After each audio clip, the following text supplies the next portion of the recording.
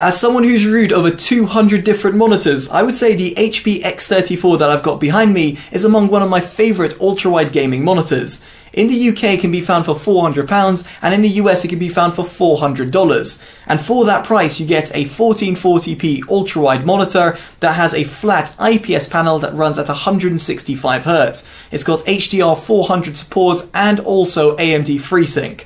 That's pretty impressive for the price it's coming in at, so let's see how it actually performs throughout this review. So to kick off this review, I want to jump straight in and talk about its input lag, and here I must say I was left seriously impressed. I had it tested at 5 milliseconds, and for a monitor of its class and indeed its type, this means that it can compete with some of the very best non-ultra wide gaming monitors, let alone those that have that 21 by 9 aspect ratio. Indeed, here I could happily see myself playing high level of Counter-Strike Global Offensive, or indeed jumping on a game of Valorant. Here, I don't expect most people to be buying an ultra-wide monitor and playing a hardcore competitive game, but suffice to say you won't have any problems when it comes to input lag. But of course, that's just one side of the puzzle. What about when it comes to response time? Well, here there's a few different levels to choose from. You've got level 1, level 2, level 3, and level 4. Now, level 4 does induce a lot of inverse ghosting, to the point where my eyes just couldn't get to grips with the amount of overshoot, in other words, purple trailing, that was occurring in a game such as Counter-Strike Global Offensive, which quite frankly looks like a bit of a potato. Now, if you were to go on a more graphically intense game, you'll really find this inverse ghosting will throw off your shots and take away from the overall visual experience. As such, I would highly suggest dialing it down to level 3. This gives you a sort of blend between the response time of the monitor and indeed gives you a better visual experience. Now in level 3 mode I had no problems when I was playing a hardcore competitive game such as CSGO, nor when I was playing more casual and visually appealing game such as Destiny 2. Suffice to say, its response time is really impressive, and while it quite can't hit the 1 millisecond time that the manufacturer claims, because this will have to run in its highest overdrive mode, I think level 3 will suffice for a lot of people, and yet again, I would happily see myself using this monitor as a daily driver if I wanted an ultra-wide gaming monitor, be it if I was playing some hardcore games or indeed more casual games. So following on from that, I should mention that the monitor has got an MPRT mode. You've got a few different levels to choose from from the OSD. The only thing to be mindful about is that it will lock the brightness at every single level and therefore doesn't allow you to customize the brightness in the slightness. And at its highest level, level 5, it is pretty dim at around 111 nits. Nevertheless, this is quite useful for those people who want to reduce motion blur. Now, one thing I should point out is that this monitor cannot run MPRT mode simultaneously with AMD FreeSync or NVIDIA G-Sync, and this perfectly leads me onto these technologies. Now here I have an RTX 3080, and when connected over to DisplayPort, I was able to run the NVIDIA Pendulum demo without incurring any black screen issue or artifacts.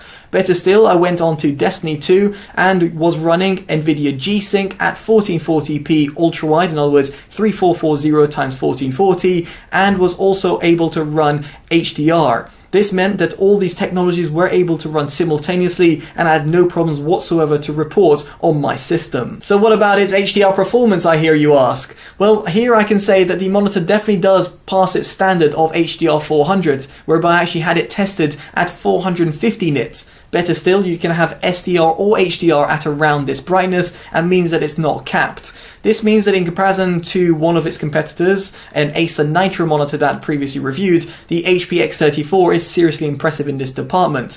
However, that's not to say its HDR performance is something to be shouting about. Here I found that it was a bit of a lackluster performance and the overall HDR colours just seemed a little bit off. So much so that when I was playing Destiny 2, I actually preferred running it on SDR rather than running on HDR.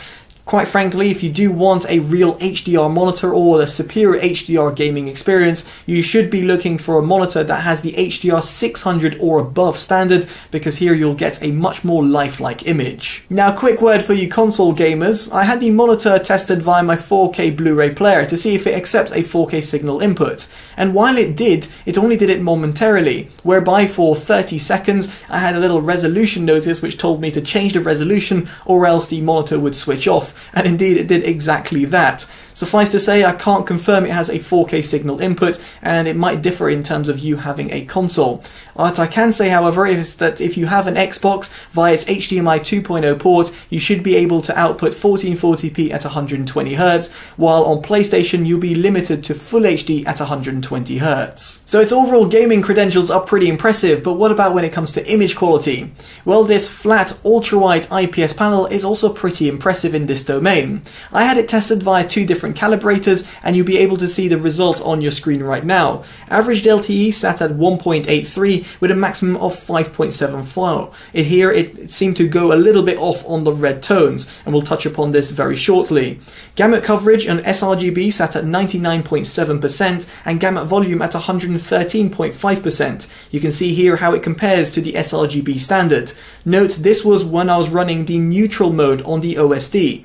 Now as for its tested contrast ratio, I had it at 922 to 1, which is perfectly acceptable for an IPS panel, and as for the measured white point, it's a slight bit off but is perfectly acceptable, and the same goes for its gamma coverage.